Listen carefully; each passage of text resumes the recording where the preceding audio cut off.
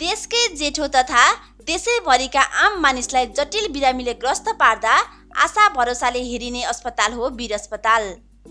काठमाडौँको मध्य तथा अति व्यस्त भागमा रहेको यो अस्पताललाई फराकिलो ठाउँ भक्तपुरको दुवाकोटमा सार्ने निर्णय भएको पनि वर्षौँ बितिसकेको छ। यो भिडियोमा यस अस्पतालको ऐतिहासिक पृष्ठभूमि वर्तमान अवस्था भावी योजना र सोसँग सम्बन्धित विषयमा केन्द्रित रहनेछौँ। हामीसँगै रहनुहोला। एक सय तिस वर्ष पहिले विक्रम सम्मत उन्नाइस सय चौहत्तरमा तत्कालीन प्रधानमन्त्री वीर शमशेर जङ्गबहादुर राणाको पहलमा स्थापना भएको यो वीर अस्पताल सात सहित पाँचजना कर्मचारीको साथमा सुरु गरिएको थियो। हाल करिब छ सय सहित विभिन्न सेवा दिइरहेको यो अस्पताल देशभरि नै यसले दिने जटिल रोगहरूमा सहुलियतपूर्ण सेवाको लागि प्रचलित छ। हाल करिब दैनिक दुई हजार सेवाग्राहीलाई यसले सेवा दिइरहेको छ। ऐतिहासिक रूपमा विक्रमसम्म दुई हजार तेह्रमा यहाँ महाबौद्ध नर्सिङ कलेजको नाममा नेपालमै पहिलोपटक नर्सिङ कार्यक्रम सुरु गरिएको थियो।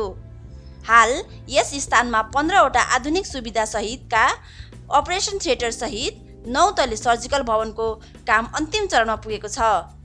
तिन पोइन्ट आठ पाँच बिलियन रुपियाँको लागतमा बन्न लागेको यो सर्जिकल बिल्डिङमा अपरेसन भइसकेका बिरामीका लागि वार्ड चालिस सयको सर्जिकल वार्ड आइसियु लाइब्रेरी सहितका ज्येष्ठ नागरिक तथा अपाङ्ग मैत्री सुविधाहरू हुनेछन्।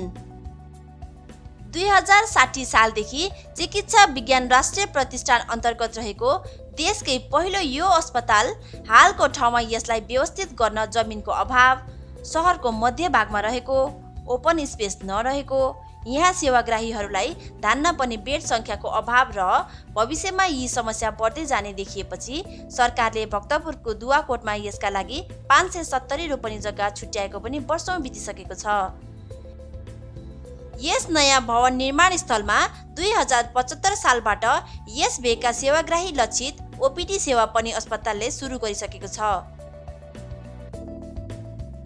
हेलिप्याड सहितको दस तले अस्पताल बनाउने गरी यसको मास्टर प्लान तयार भइसकेको छ।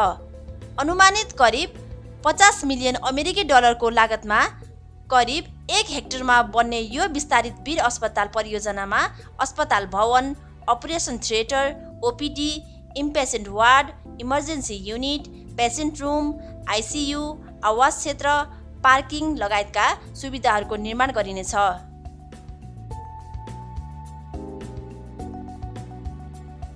नेपालका विभिन्न ठाउँबाट जटिलतम रोगको निदानका लागि यहाँ बिरामीहरू आउने भएकोले हाल निर्माण गर्ने भनिएको ठाउँमा बिरामी कुरुवा घर सहित निर्माण गरिए टाढाबाट आउनेलाई निकै सुविधा हुने थियो। हाम्रा छिमेकी देशहरूका ठुला अस्पतालमा पनि बिरामी कुरुवाको लागि अलग्गै भवन बनाइएको पाइन्छ। वीर अस्पतालमा यो सुविधाको व्यवस्था गर्न निकै जरुरी देखिन्छ किनकि यहाँ टाढा टाढाबाट लामो समय उपचार गराउनु पर्ने बिरामीहरू धेरै आउँछन्। यसै भिडियो मार्फत यो सुविधा मास्टर प्लानमा समावेश गर्न हामी जोरदार माग गर्दछौँ। तपाईँहरूले पनि यसलाई सक्दो सेयर गरी सम्बन्धित निकायसम्म पुर्याइदिन हार्दिक अनुरोध गर्दछौँ।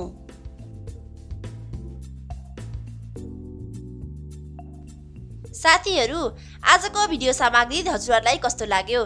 कृपया कमेन्ट गर्नुहोला। मन परेको छ भने एउटा लाइक गर्न पनि नबिर्सिनुहोला।